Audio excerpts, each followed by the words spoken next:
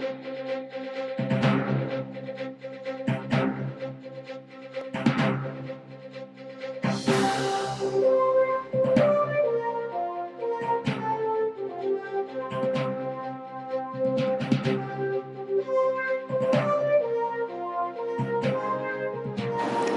News New Taipei to ban smoking around convenience stores and coffee shops from September 1st.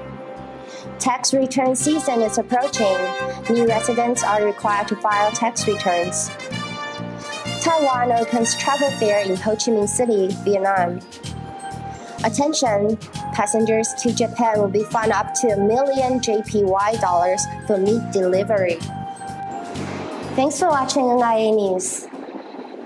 The tax return season is approaching. The filing tax returns period for this year is from May 1st to May 31st.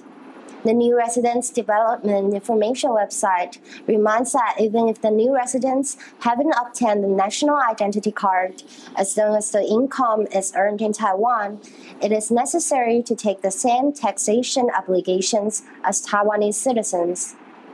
However, there are different tax deductions depending on how many days they live in Taiwan. If you are not familiar with the tax return process, you can go to the National Taxation Bureau near your residence. Cigarette smoking will be forbidden starting September 1st on the pedestrian arcades around convenience stores and coffee shops in New Taipei City. The city government announced on April 25th. Violators caught by authorities will be subject to a fine of $10,000 NTD, reported Central News Agency. A number of locations have already been declared smoke free in the most populous city in Taiwan, including parks, most areas and sidewalks surrounding schools of almost all levels.